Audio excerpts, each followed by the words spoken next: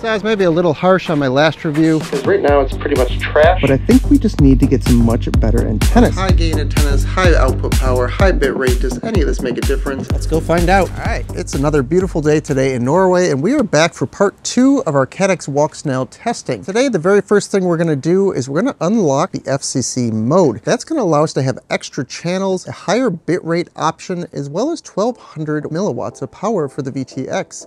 So we're gonna go ahead and just do the run that we did previously and see how the breakup, the image, and the penetration come together with this new unlocked FCC mode. So let's go ahead and get started on that. Here we go. We are at transmit power 1200 milliwatts, frame rate high, resolution 720. Bit rate is set to standard. We will change that on the next test flight and see how big of a difference high bit rate makes. That branch. Okay, so we're gonna dive down between these trees using stock antennas at 1200 milliwatt. Ah, that's not so great. Didn't seem to have made much of a difference. We are at standard bitrate, and you can see the bitrate dropping pretty fast. Uh, so we're gonna try high bitrate now.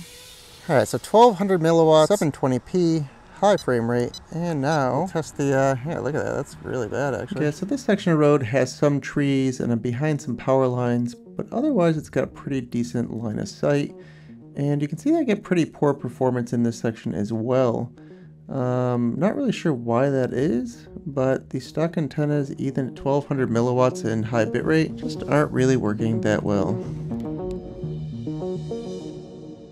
All right, uh, yeah, so what the heck, um, I guess these antennas are trash. Let's go ahead and that can be our next step here.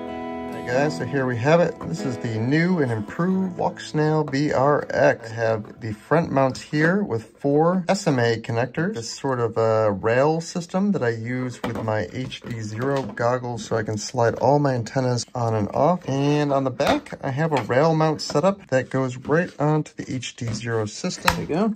You can see that that's mounted right on there.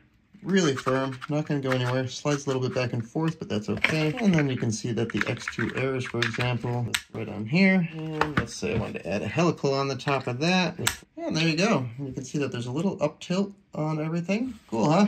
I think that's pretty nifty. So yeah, all the uh, STL files for this thing will be made available in the link below if you guys are curious. You just need to get some UFL to SMAs if you want to do that conversion. These are some M2 screws on here. You need some longer screws. I actually used a machine thread that you can see in this picture here. Anyway, there it is. So how does it work? Let's find out. Hey guys, so we're out here today doing some more Caddx Walksnail testing and we're using this new high gain antenna setup. I have two X2 Airs from TrueRC and two DIY 7-turn helical antennas. At the moment, the system seems to be performing really, really well. Go ahead and see what happens when I dip down into here.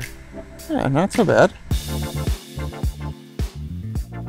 Okay, so at 700 milliwatts in standard bitrate, the high gain antennas have made some significant improvement. We have lower delay and higher, more consistent bitrate. However, the image is still a little bit blurry, and I'm curious if we can squeeze a tiny bit more performance by using 1200 milliwatts, high bitrate, and trying focus mode. Let's go ahead and do some comparisons of four different scenarios, and we'll see what it looks like. Okay, so up on the top left, we have the stock antennas at 700 milliwatts standard bitrate. Then we move over to the high gain antennas at 700 milliwatts high bitrate, and down to 1200 milliwatts with focus mode on and off. Uh, so right off the bat, the three high gain antennas are looking pretty similar. You can see that the numbers are pretty consistent between the modes. There's not a whole lot of variation. However, regardless of the setup, the high gain antennas are performing substantially better than the stock antennas. Clip here is just showing the stock setup at 1200 milliwatts in high bitrate, and you can see even with these settings that the performance is still really pretty bad.